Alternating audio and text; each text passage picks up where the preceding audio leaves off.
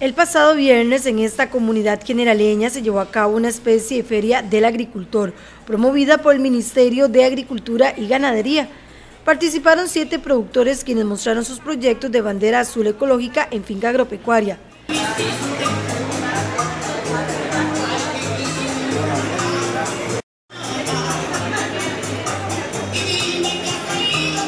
También hubo cinco invitados del proyecto de la Casa Sombra y un productor de una finca en transición orgánica.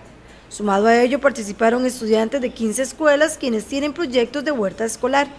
La intención del Ministerio de Agricultura y Ganadería es buscar alternativas de mercado para que los productores puedan comercializar lo que siembran, asimismo que se generan oportunidad y enlaces entre ellos.